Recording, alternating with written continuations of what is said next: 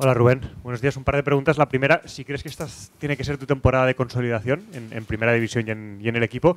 Y la segunda, si crees que al Depor eh, le puede perjudicar y por lo tanto os puede beneficiar a vosotros el hecho de que jugaran ayer partido de liga y tuvieran, tengan menos días de recuperación.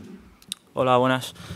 Pues sí, desde pretemporada me he sentido más gusto, me siento jugador del primer equipo y la verdad que y con los compañeros genial y, bueno, como, como, he dicho muchas veces antes, pues quiero ser un hombre importante, quiero, quiero asumir un rol un rol aceptable en el equipo y bueno, creo que poco a poco con el, con el paso de los entrenamientos y de los partidos pues, pues estoy yendo a más y, bueno, mm, creo que tengo la confianza del míster, pero eso no, no, vale de nada, tengo que seguir trabajando como, como, si, fuera, como si fuera un jugador de filial y, y bueno, y seguir, seguir trabajando que queda mucho.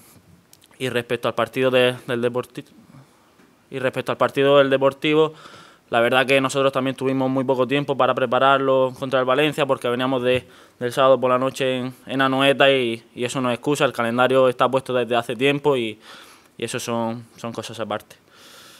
Rubén, en las dos últimas jornadas el equipo ha ganado. Eh, eh, ¿Consideras que le ha acompañado un poco la, la fortuna o la dinámica positiva, por ejemplo, por, por, el último gol en Anoeta o porque el Valencia jugara con un equipo con, con bastantes eh, suplentes y que de alguna forma eh, se ha visto en esa, envuelto en esa dinámica positiva por parte de las circunstancias?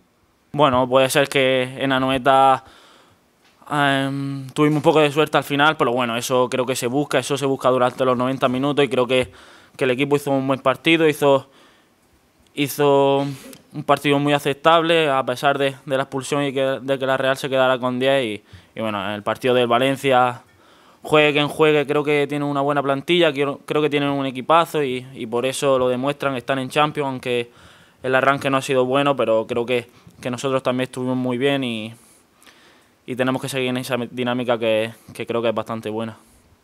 Hola Rubén, sois, sois uno de los, de los equipos más jóvenes de, de la liga. Cuando se gana es estupendo, cuando se pierde se dice que, que hay falta de, de madurez. No, no sé qué ¿Qué, indica eso?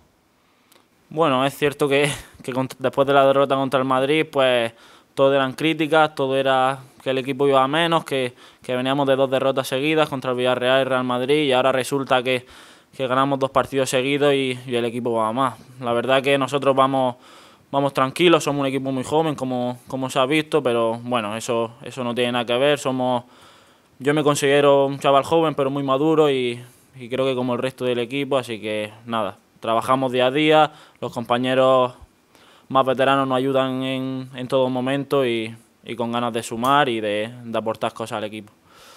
¿Y qué ha, qué ha, cambiado en estos dos últimos partidos respecto al, sobre todo al partido del Madrid, de, que se vio el equipo con, como con más dudas, ahora se ve una fiabilidad defensiva y sobre todo mucha solidaridad entre líneas, no sé, ¿cómo se hace ese cambio de chip?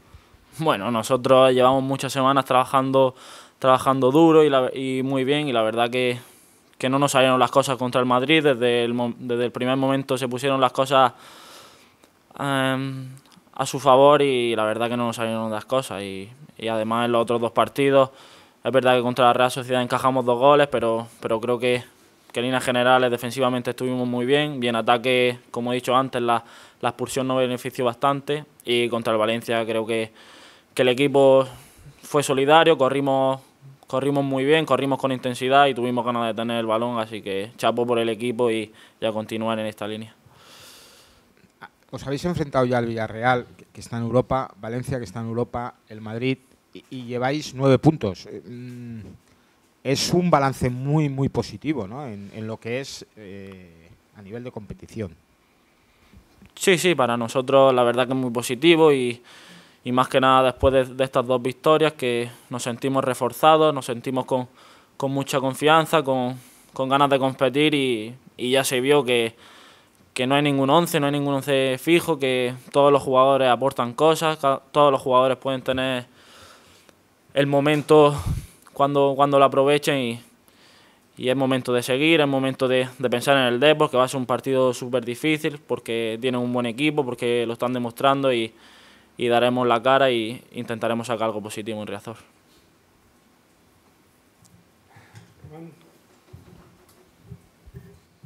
Uno de los retos de, de la plantilla es, conseguir la tercera victoria consecutiva en Liga. El año pasado tuviste hasta tres oportunidades para intentar hacerlo.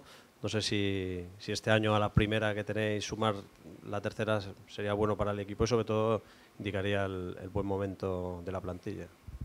Sí, sí, la verdad que para nosotros es, es una motivación. El año pasado se intentó esa racha de victorias, pero, pero bueno, no pudo ser y, y este año pues pues lo tenemos este fin de semana, tenemos al alcance de la mano tres puntos que serían buenísimos para, para colmar una, una semana excepcional y, y, como he dicho antes, pues estamos trabajando día a día para, para conseguir esa victoria o, o sumar algo importante en ese difícil partido ahí en Riazor.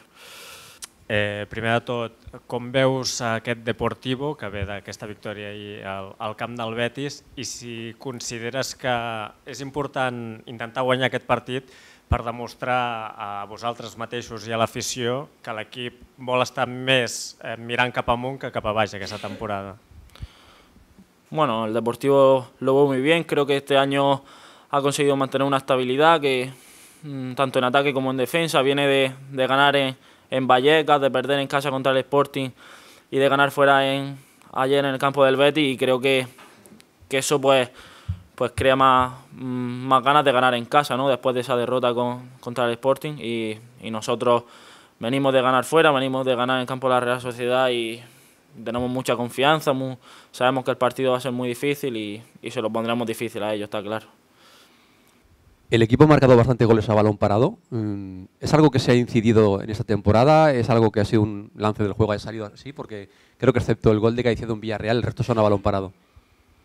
Sí, sí, nosotros lo trabajamos bastante durante, durante la semana, incidimos en eso y, bueno, mm, esta, esta vez estamos teniendo suerte de que no están entrando los goles a balón parado y eso significa mucho porque, porque los partidos cerrados pues se pueden abrir de esa manera y, y de esa forma pues, podemos conseguir tres puntos como, como los que fueron la el, el, otro día contra Valencia, que fueron, fueron muy importantes y decisivos. Hola Rubén. Eh, ¿Qué lectura hicisteis eh, después de los partidos de Villarreal, Madrid, Anoeta, de haber empezado encajando tantos goles? ¿Es más porque jugasteis con cuatro defensas diferentes los primeros partidos o es por, por, por qué? Bueno, tal vez por el, el tema de baja, el equipo, el equipo, los fichajes necesitaban su adaptación, creo que, que ya están completamente adaptados, creo que, mm, que estamos encontrando esa solidez defensiva que, que, siempre es importante en un equipo como, como nosotros. Y, y bueno, espero que, que juegue quien juegue, salga quien salga, pues, pues tenga esa confianza y, y esa solidaridad que, que, el equipo necesita y, y sabemos que, que, es una parte muy importante para, para que luego lleguen las ocasiones de gol. ¿Estamos ya? Muy bien, gracias.